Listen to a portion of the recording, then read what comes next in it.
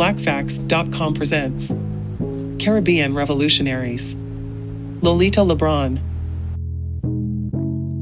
Lolita was born in Lares in 1920, a town best known for a revolt, Grito de Lares, waged by Puerto Ricans against Spanish occupation in 1868.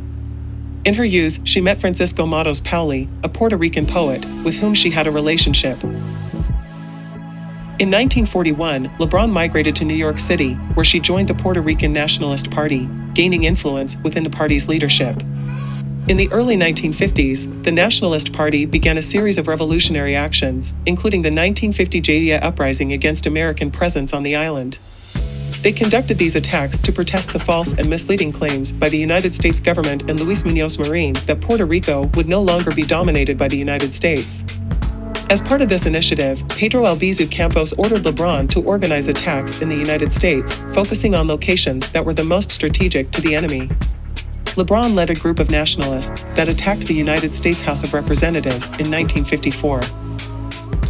Viva Puerto Rico Libre. Long live free Puerto Rico, she yelled as she and her compatriots unfurled a Puerto Rican flag and blasted away with Lugers and an automatic pistol. Police found a handwritten note in her purse, alongside some lipstick and bromo seltzer tablets. Before God and the world, my blood claims for the independence of Puerto Rico. I give my life for the freedom of my country. This is a cry for victory in our struggle for independence. The United States of America are betraying the sacred principles of mankind in their continuous subjugation of my country. I take responsibility for everything. All the attackers were given minimum sentences of 70 years in prison, and after spending 25 years in prison, they were pardoned by President Jimmy Carter in 1979. After their release in 1979, the group returned to Puerto Rico, where supporters of Puerto Rican independence received them warmly. During the following years, Lebron continued her involvement in pro independence activities, including protesting the existence of a United States Navy base at Vieques. She continues to be an iconic figure in the ongoing movement for Puerto Rican independence.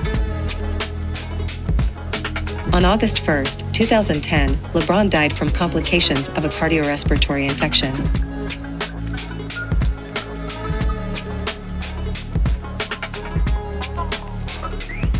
Learn more at blackfacts.com.